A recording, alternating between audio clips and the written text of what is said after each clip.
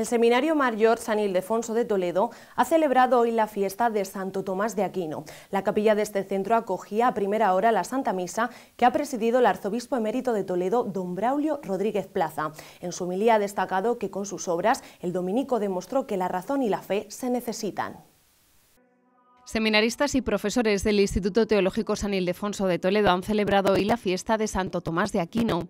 El arzobispo emérito de Toledo, don Braulio Rodríguez Plaza, ha presidido la Santa Misa en la capilla de este centro y sobre el sacerdote dominico ha destacado que su obra refleja que la razón y la fe son complementarias y se necesitan.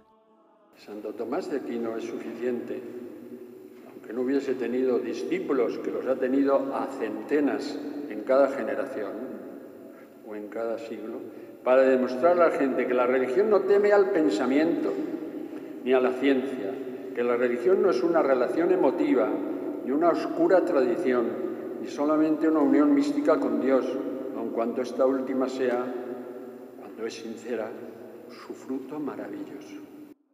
En su homilía, el prelado ha destacado que a pesar de su sabiduría y grandeza, el aquinate siempre valoró poco su labor. La humildad que le caracterizaba, tan profunda siempre en los doctos verdaderamente grandes, que saben cuál impotente es la verdad y que lo máximo que el hombre consigue conocer es bastante poco, le hacía valorar poco su propio trabajo. Por último, ha concluido explicando que Santo Tomás de Aquino siempre se caracterizó por su humildad, derivada de su profunda comunión con Dios.